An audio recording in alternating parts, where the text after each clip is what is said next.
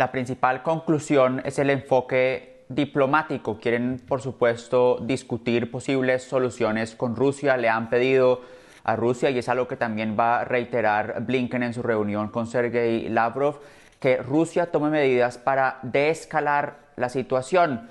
De lo contrario, si Rusia hace lo que se pueda describir como una agresión, los aliados de Estados Unidos y en particular también Alemania, pero otros aliados, han asegurado que habrá consecuencias para Rusia. Por supuesto, lo que se estuvo discutiendo hoy aquí en Berlín entre los principales países que se reunieron, Estados Unidos, Francia, Alemania eh, y Reino Unido, es qué tipo de, de consecuencias podría haber si en efecto Rusia hace lo que se considere una agresión.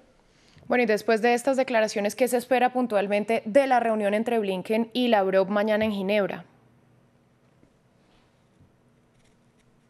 Blinken dijo hoy precisamente aquí en Berlín que no espera que mañana la situación se solucione del todo. Son pasos que se van a dar hacia una posible solución. El principal objetivo del secretario de Estado será presentar la postura de Estados Unidos, algo que por supuesto hizo hoy también aquí en la capital alemana, y presentar también la posición de los otros aliados de Estados Unidos. Precisamente ese enfoque en la diplomacia, algo particularmente importante para Alemania. Alemania ha reiterado que quiere tener un enfoque diplomático muy claro, por ejemplo, reactivando lo que se llama el formato de Normandía junto a Francia para negociar con Ucrania y con Rusia. Eso es algo que también se va a discutir mañana en Ginebra, pero falta ver qué tanta disponibilidad y qué tanto interés también hay de parte de Rusia. Así que por un lado está todo el tema diplomático, por el otro lado también está la posibilidad de sanciones o de consecuencias si el tema se agrava en la frontera con Ucrania.